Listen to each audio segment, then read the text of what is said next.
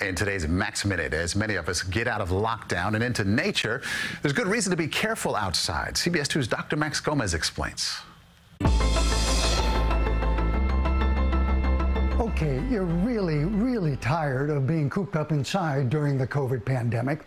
And now that the weather is warm and we're slowly opening up, you want to get outside, maybe enjoy nature. Then a few days later, you develop a fever, severe headache, muscle aches, and even some nasty stomach issues. Oh no, it's COVID. Maybe not. And that's the problem.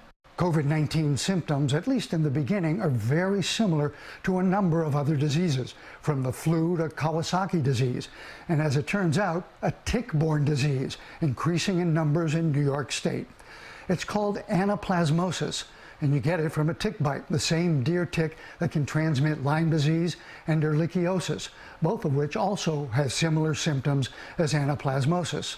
The good news is that the antibiotic doxycycline is an effective treatment against all three bacterial diseases.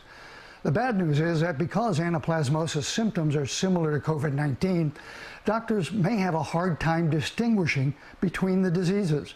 And while anaplasmosis is not common, about a thousand cases a year in New York, it is on the rise, especially in the Adirondacks and the northeast part of the state, where a recent survey found that 20% of ticks tested carried the anaplasmosis bacterium.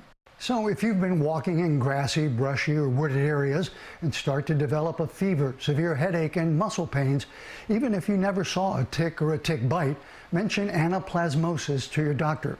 It's serious but more treatable than COVID. Dr. Max Gomez, CBS 2 News. And if you have questions for Dr. Max or would like to hear his answers to the most common coronavirus questions, you can log on to cbsnewyork.com slash max.